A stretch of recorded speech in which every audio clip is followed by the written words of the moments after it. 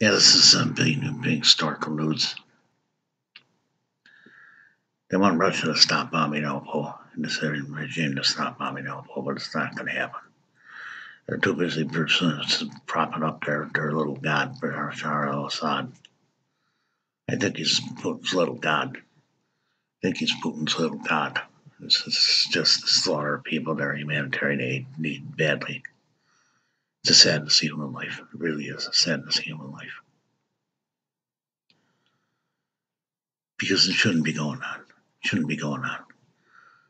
Too many, too, too many, too, too, too many citizens there. Too many citizens there. Just bomb Aleppo. Just bomb Aleppo. Keep bombing Aleppo. Too many citizens there. Three quarters of a million citizens are Aleppo and they're stuck in the middle of this war between all these people.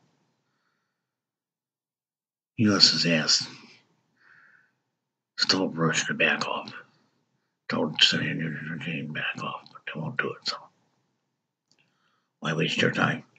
They're not going to do it. They're not going to back off. They're not going to back off. One thing they're not going to do is back off. They're going to keep bombing Aleppo because Bashar Assad don't care. Apparently, either does Putin. I don't know why he's even involved in this war. It's just to prop up that butcher sissy, Bashar al-Assad. Because that's Putin's little god. It's Putin's little god. I swear to God, it's Putin's little god. This is some big human being starting to lose. Thank you for watching.